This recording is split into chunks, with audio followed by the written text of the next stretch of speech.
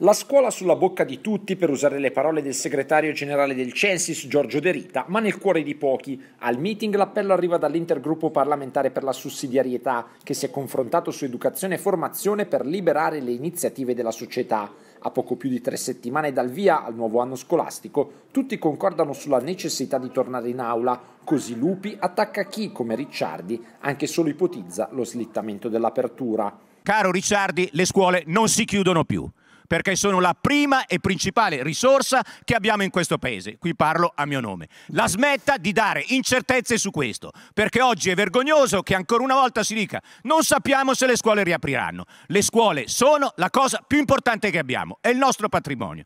Sul tavolo senatori e deputati dell'intergruppo, stimolati da De Rita e da Ferruccio De Bortoli, mettono il tema dell'autonomia scolastica e della relazione tra scuole, territori e aziende, la necessità di investire sul capitale umano, quella di un rapporto proficuo tra scuola statale e paritaria, ci sono Maria Stella Gelmini, Fabio Rampelli, Simona Malpezzi, Gabriele Toccafondi. La scuola, dice l'esponente di Italia Viva, si fa in presenza e con il corpo classe al completo. Le linee del Comitato Tecnico Scientifico, scritte a fine maggio, possono e devono essere riviste. Occorre assolutamente rientrare e tutti a scuola.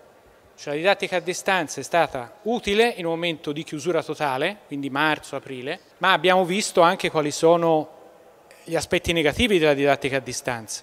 Poi Giancarlo Giorgetti, secondo cui se le politiche educative non sono una priorità è perché esse sono il terreno del pensiero lungo, mentre la politica di oggi ha un pensiero breve e anzi affannoso. La relazione, l'amicizia eh, sono, eh, sono, le cose che mandano avanti la nostra umanità e non c'è, civiltà, se non c'è relazione non c'è e non ci può essere educazione. Quindi il fatto che il meeting abbia voluto, in mezzo a tante difficoltà di ogni tipo, sperimentare ovviamente anche con quello che si può fare col, col distanziamento sociale, trovarsi eh, ribadire l'importanza di questo, l'importanza dei rapporti tra le persone l'importanza della discussione, del confronto e, e del mettere delle idee perché di questi tempi eh, le idee sono merce rara. Ecco.